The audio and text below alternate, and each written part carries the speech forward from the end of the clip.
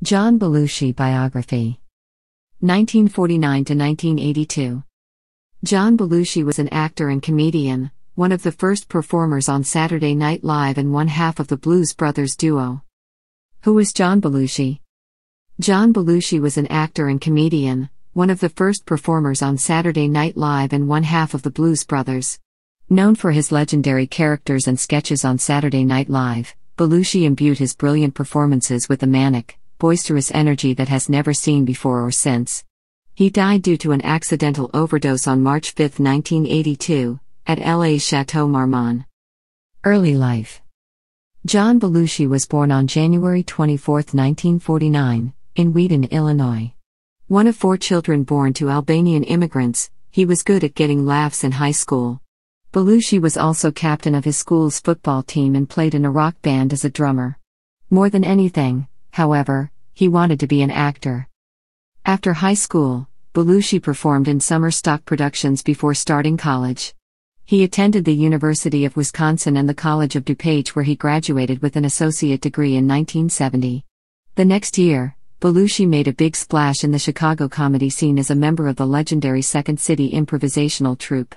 He wowed audiences with his over the top impressions of Marlon Brando, singer Joe Cocker, and others.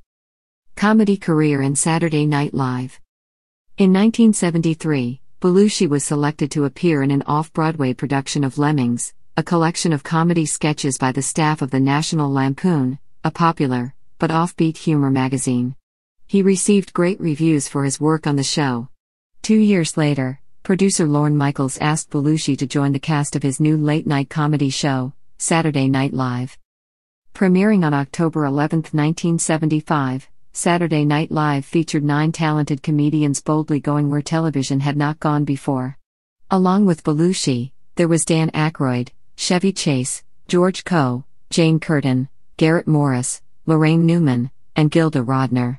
The show soon became a hit and Belushi became one of its breakout stars. Some of his most famous characters were a sword wielding samurai, a killer bee, and a cone headed alien named Kudroth. Belushi also continued making fun of the famous with hilarious takes on the likes of Elizabeth Taylor, Henry Kissinger, Truman Capote, and William Shatner. While he was on Saturday Night Live, there were many stories going around about rampant drug use by the members of the cast. To deal with pressures and his own insecurities, Belushi is said to have done cocaine and other drugs. Movies Animal House. Not long after starting the show, Belushi married his high school sweetheart, Judith Jacklin, in 1976. Two years later, he made the move to the big screen with the hit comedy National Lampoon's Animal House, directed by John Landis. Playing Bluto Blutarsky, Belushi created one of the film's most memorable characters, the thoroughly gross, barely verbal frat brother whose immortal lines included toga, toga, toga, and food fight.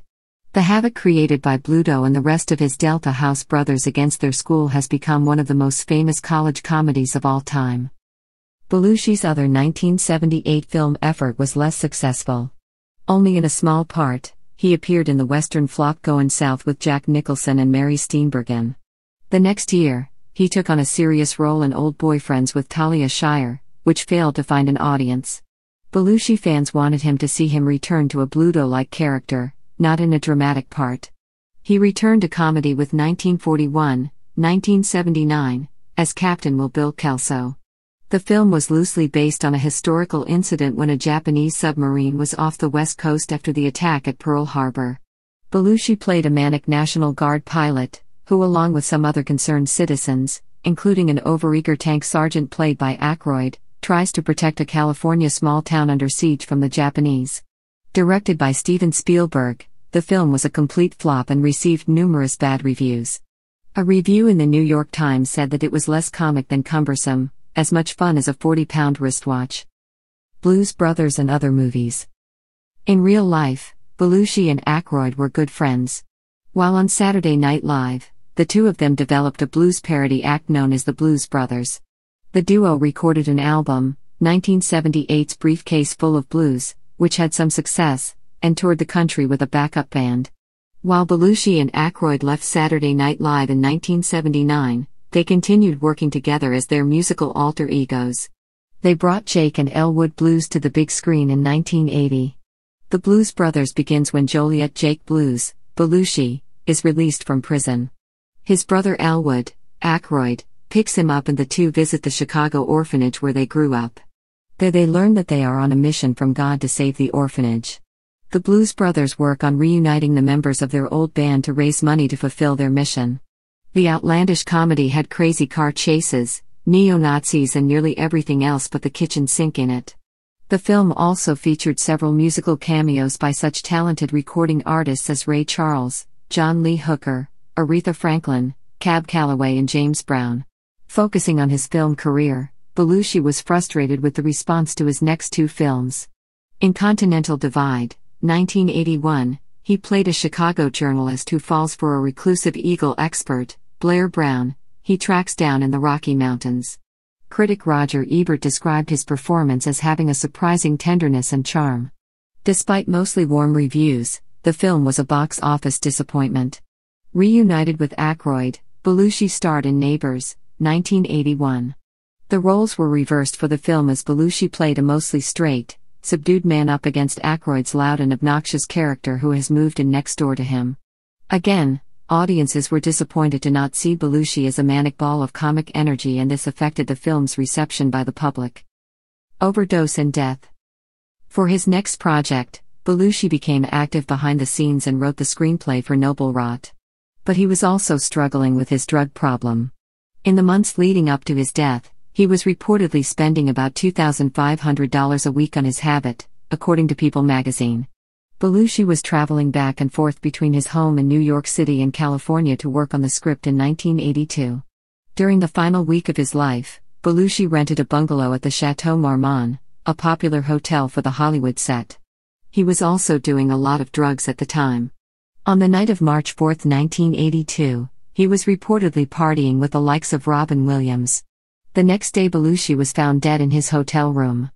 Only 33 years old, he died from a drug overdose of a combination of cocaine and heroin, also known as a speedball. The woman who was with him and had supplied him with drugs, Cathy Smith, was questioned by the police and released. On March 9, 1982, Belushi was buried near his home in Martha's Vineyard, Massachusetts. Many were shocked and saddened by the comedian's sudden death. His death scared a whole group of show business people. It caused a big exodus from drugs, Williams told Entertainment Weekly. Hollywood was toxic to him. People wanted him to be the Belushi they'd seen on screen, said Michaels in the same article. Despite the fact that it was an apparent overdose, there was still some mystery surrounding the exact circumstances of Belushi's death. Smith was later charged with murder and drug related offenses after admitting that she supplied and administered speedballs to Belushi to the National Enquirer which reportedly paid her $15,000 for her story. She pled guilty to involuntary manslaughter and three of the drug charges and spent 15 months in prison. Legacy The unanswered questions led Belushi's widow to ask journalist Bob Woodward to investigate her husband's death. The result was the book Wired The Short Life and Fast Times of John Belushi, 1984. His family was dismayed by the book, expressing their concern that it was not a fair portrait of the man they had known and loved. Jacklin Belushi wrote her own book on her experiences surrounding his death in Samurai Widow, 1990, and later created her own portrait of her late husband entitled Belushi, a biography, 2005. While Belushi has been gone for more than 20 years, the characters he created and the performances he gave are still being enjoyed by his fans. He was named one of television's top 25 stars by People magazine in 1989.